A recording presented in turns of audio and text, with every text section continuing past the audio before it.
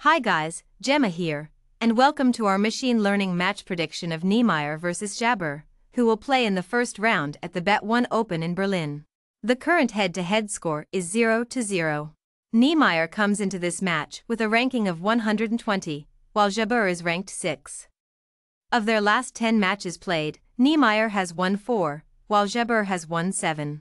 The MatchStat.com prediction algorithm uses about 190 variables.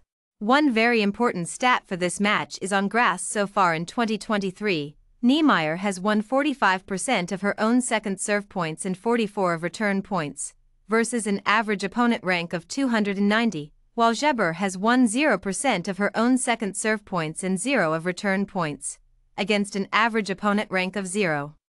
Here is our machine learning prediction of this match. For more in-depth analysis, head over to matchstat.com. Our predictions also include odds, so you have access to the best value bets available. See all predictions for today's matches at matchstat.com.